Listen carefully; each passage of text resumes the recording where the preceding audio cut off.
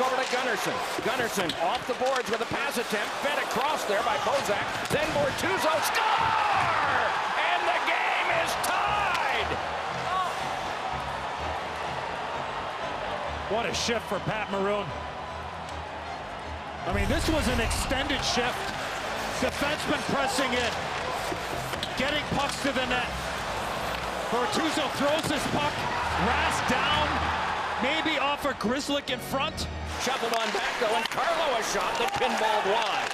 Gathered in there, but turned right over to Nordstrom by Perron, and then thrown right back to Perron.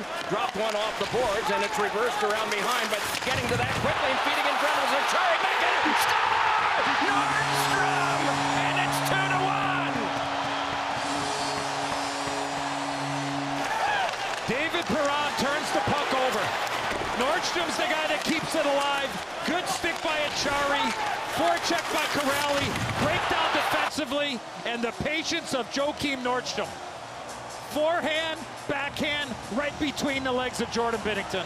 Off the right skate to the stick. The wickets are opened up, and it's 2-1 Boston.